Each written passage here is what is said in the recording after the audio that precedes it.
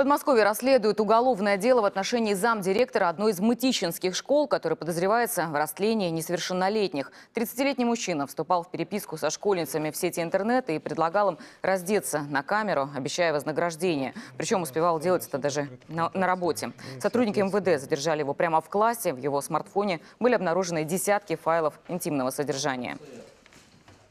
Пострадавшие находятся ну, практически во всех регионах России.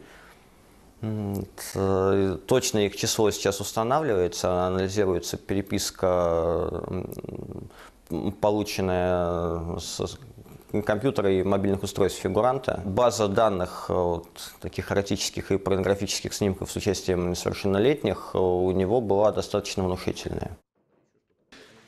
Максимальное наказание, которое грозит подозреваемому, если его вина будет установлена, 15 лет.